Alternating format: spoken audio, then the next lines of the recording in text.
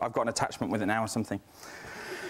So, um, in the good old days, kind of at Codemasters, uh, we did do a lot of brainstorming, but we very rarely did what I would call technical brainstorming. So we would get people in and we would basically just be the design group and we'd talk about, okay, what are we going to do? What's the game going to be? And you know, how are we going to build this? Um, and it kind of worked. Uh, and then what we would do is we would then go and tell the team what we're making. There are two problems with that. One, the team doesn't feel empowered. And two, how do I know whether a certain feature is going to be able to be done in a certain amount of time with the technology we have? It's very obvious in retrospect, but at the time it was like, hey, here's the game design doc, throw it over the, over the wall, and then they're like, what's this? What do I do with it? So a good practice is to basically bring the specialists in while you're brainstorming. Bring the engineers in, bring the artists in, find out whether the, the ideas that you're talking about can be done. Find out if there's simpler ways of doing it or more cost-effective methods. And remember, I mean, this is really obvious, you hear this all the time, but it's called a team for a reason. How many designers I've worked with who basically just go off on their own um, and design something crazy, and then you just have like completely unbelievable looks from the rest of the team going, you know, this isn't what we're supposed to be making. Um, and again, it's very important in terms of empowerment for the team that we do work as a group, and never forget that the stakeholder who's paying the wage for the team is paying it to the team not to the individual. And there's a reason he does that, and that's because work done by a team tends to be more productive and useful. So, empowerment through communication, I've kind of gone through all of that now. The, this like diagram that I saw on the internet is really interesting. It requires a little bit of thought, and perhaps I'm going down the wrong avenue with it, but I'm a strong believer in communication and partnership. And generally what communication does is it basically solves, it finds solutions to problems. And especially in the games industry, problem solving is extremely important. And the reason it's extremely important is because it provides balance, which then leads to a kind of team spirit and the team working in unison on a focused direction. So just to recap, the Nexus is basically all the information coming in, you looking at it, working out what we can and we can't do. And we have like quite a wide variety of areas that we could go down or areas that we could focus on. So the next phase for the designer is kind of like the architect. Um, so you've got this big bag of ideas and everyone's like, oh my goodness, it's going to be the best thing ever. And then the producer turns around and goes, yeah, well, it'll be finished in 2034 or something like that. Um, so what do you have to do? Well, you get the relevant people, um, and you have to act as though you're the customer and stakeholder. And to be honest, the best thing to do at this stage would be actually to present this to the, to the stakeholder and say, here's uh, game A, here's game B, and here's game C.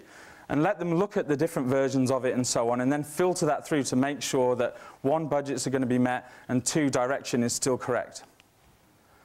Mitigate risk at this stage. So you've been with the specialist, you've been through all the different things that you're going to do, you're going to realize these features. Try to cut development debt at this point. Try to think through and solve any problems before you actually start building anything keep the vision. Um, uh, I guess that, again, old school days, there used to be this kind of image of there'd be one vision keeper kind of thing, and he would know exactly what's going on and what we're doing. But team sizes are growing and growing and growing, and that just really isn't working anymore. Um, so what we try to do, or what I try to do, is have multiple vision holders, have people all on the same page, and I guess the ultimate situation to be in is when everyone in the team is talking from the same page. Right, and now this, is, this might be a little bit controversial. When I started at, at Codemasters, after I'd been through QA and I was in design, we were like, we were crazy. We were like designers on crack. We would basically write 80-page documents telling engineers how to program the game and how to build all these systems. Um, and we'd basically pass them over to uh, the engineers and they'd just look at it and go, you know nothing about maths and uh, why have you given me this document? So there's a different way of looking at game design, and it's a two-part solution. Um, and so the way that I like to go about doing it, and it seems to work very well with our team, is that you don't tell people how to program the game. You don't tell people what art they're going to put in. Instead, you build a manual for the game um, so that you basically, it's like an instructions manual that you get with a product. You know all the different aspects of it. You know what you want the features to do. Um, and it doesn't really uh, uh, drill deep into the actual uh, execution of it. And so we go into the development stage, and this is connected to the last point. represent the design. So that doesn't just mean run around like an idiot telling everyone what the game's going to be. What it actually means, and this, funnily enough, is something that I learned uh, uh at an earlier company, is once you've provided the manual, work out when people are working on stuff and go and sit down with them. Um, work towards solving problems with them. Look at different, uh, more effective ways of dealing with stuff. And, and people might say, okay, but that's going to blow your schedule. If you basically say, well, how long has that person got? Five or six days. Then do it within those five and six days. Commit to that. And again, get the information from the relevant person who's the specialist. And this is something I believe in uh, very much as well, and it's something that's very commendable for VFS. We've had uh, two uh, students come from VFS this year, and uh, fortunately, they've been schooled in uh, Unreal, uh, the Unreal editor. They've basically hit the ground running. They're in the game. They're balancing. They're putting vehicles in. I'm not giving too much away there, I hope. Um, basically, they're doing all this cool stuff. Um, and they're actually realizing the vision of the design themselves, as opposed to, you know, barking at people, telling them what to do and then getting something back that they never expected to. So for the designers on our game, it's very much about developing the tools and the systems and then going in there and actually doing the work yourself. And the biggest, coolest thing about this is you take pressure off the engineers. You're not constantly going over to them and asking them to fix stuff or to basically help you put this new feature in. So we are a very data-driven design department. So proactively focused test. If I've got time, I'll tell you an interesting story. Um, this doesn't mean necessarily go and do focus testing, although on the product that we have, we focus test pretty much once a week. Um, really means is listen to people when they're telling you stuff about the game. If you hear someone say something once, think about it, spend time thinking about it. If you hear someone saying something twice, there should be a red flag. If you hear it three times, there's something wrong. Okay, so I'll give you an example of this. I'll put my, my heart on the table.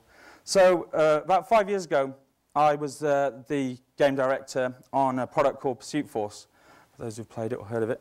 Um, and uh, it was a really, really good game. And we were coming up to finaling, uh, and we only had two designers. It was a team of 22 people, and we didn't do any focus testing.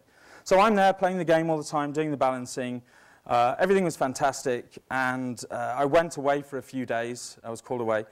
Uh, and I came back, and the whole team was like, this game is too hard. It's unbelievably hard. And I, I was thinking, well, you know, I know more about this game than anyone else does, and I know that basically the difficulty is all right. So here's the, here's the, the moral of the tale. Um, Pursuit Force is probably the hardest game on PSP. Uh, and it got really good reviews, but uh, there was one review from one website that said, uh, this game is for you if you like crushing glass and rubbing it into your hands. so listen to what people say. And, you know, just to go a little bit further than that, to show you the damage, essentially, that was done by me not listening to these people proactively, the second game that we brought out, Extreme Justice, was Pursuit Force 10 times better. Difficulty settings, everything was in there. But we'd already basically spoiled the experience for the consumer. Their expectations had been lowered, and they'd started looking to other product, which meant that we didn't sell as much as we should have done on the second game. So it's kind of the gift that keeps giving in a bad way. Problem solving, and for those who don't know what this is, a little bit of England there, it's the Italian job, okay? Um, this is something that everyone should have, but it's key, it's the most fundamental aspect of a game designer, is to be able to problem solve. You don't want to be a game, the type of designer that when someone comes over to you and says, this part of the design, the logic is broken, who basically puts his headphones on, gets angry and ignores it. You have to solve problems. You have to see problems as a good thing and not a bad thing. And then finally, course correction. Uh, this can be very difficult for um, developers. You're, because you're so deep in, um, you're drilled down in the product you're making, you're essentially a submarine, you know, 100, 200 foot under the water. When someone comes over to you and says, I don't think this is the right direction for the products. It's very hard to turn around and go, well, yes, actually, you're right. Let's scrap all the work we've done there and let's move over to here. But the fact of the matter is, as soon as you deep dive and, you cert and you're basically under that water, you can end up 6,000 nautical miles in the wrong direction. So you need to be constantly checking and course correcting. And the way you do that is through focus testing, polling your team, and listening to your stakeholder. So, finally, this is something I learned um, when I came over to North America. Um, we'd been making racing games for a long time. In fact, Pro Race Driver was actually designed to be a game that would break North America for Codemasters. Um, and we made it, and it got really good reviews in the UK, and it didn't sell in the US. And you know, we hadn't really no idea why.